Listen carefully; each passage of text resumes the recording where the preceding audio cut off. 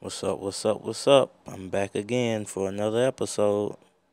Today I'm making a quick baked tilapia with a side of brown rice with coconut oil instead of butter.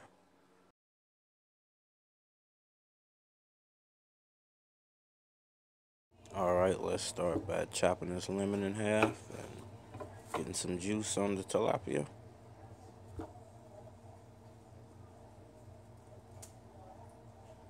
Gonna bring those flavors right out.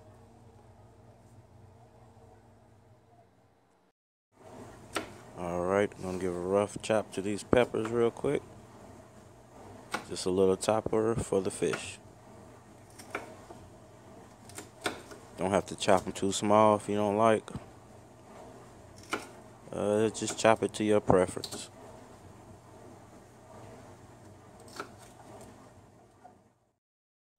Give a quick speed chop to the celery. Get that all chopped up and ready to go. It's just another topper for the fish. Alright, let's go ahead and top the fish with the celery and the peppers. Just spread it out however you like it. Doesn't really matter. It's all gonna get eaten in the end. Gonna top these peppers. I just spread them out about an inch and a half. Just because I only had a few peppers. If I had more, uh, probably wouldn't spread them out so far.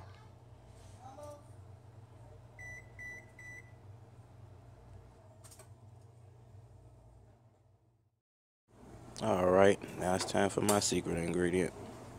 An old grapefruit. Give it a quick smell, make sure it's still good. And let's get this old guy chopped up. I just use this to top the fish. You know, fish always tastes better with citrus, so any kind of citrus you have would work. Most people would probably use a lemon. I try to be different, so I use the grapefruit.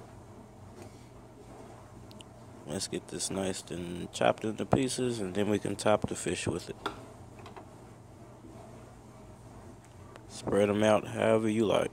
Just try to make it look nice and neat. You know, you eat with your eyes first, so make it look how you would like it to taste. Alright, now it's time to season this fish on up. Got some uh, onion powder here. Give it a couple quick shakes and on to the next one. Got some sea salt. Always better than regular table salt. Got tongue tied there for a second. Next I have some uh, dill weed.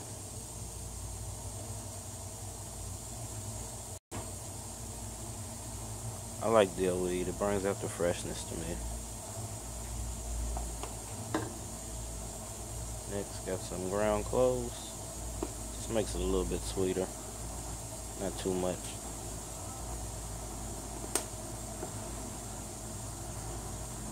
And a little bit of curry powder. For a little smoky, spicy taste. All right, let's get this wrapped in foil and get some holes poked in it so the steam can uh, leak out. All right, we got our fish in the oven, so let's start on our side dish, our spinach. First, I'm gonna throw a little coconut oil in there. Keep it nice and fresh and healthy for you. It'll come off the spoon. All right, next we're gonna get our apple chopped up. Uh, you can chop it however you like it. I chopped it in small squares. Uh, for no specific reason.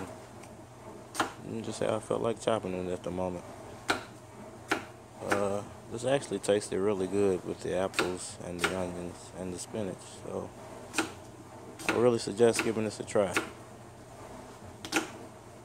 And don't be worried, you can't even taste the coconut oil.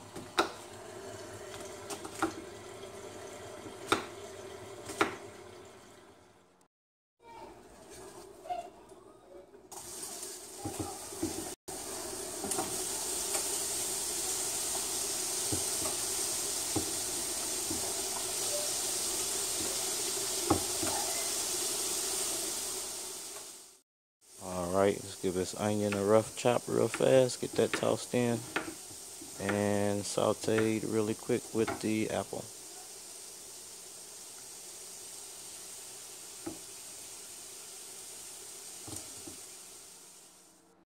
And last but not least, let's get this spinach tossed in. Off camera, I pre-washed it, so uh, no food police out there for me, please. And don't be worried.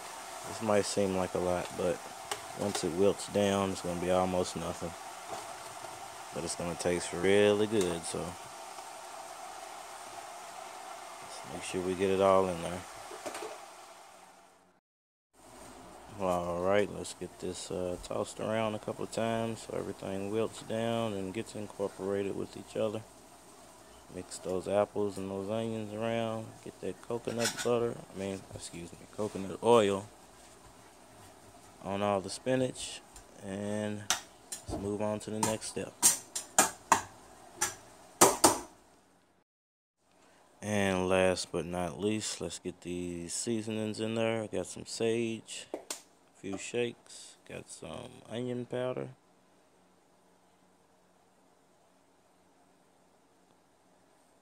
Couple of quick shakes. Got some more dill weed. For the freshness, of course, gotta have a little sea salt.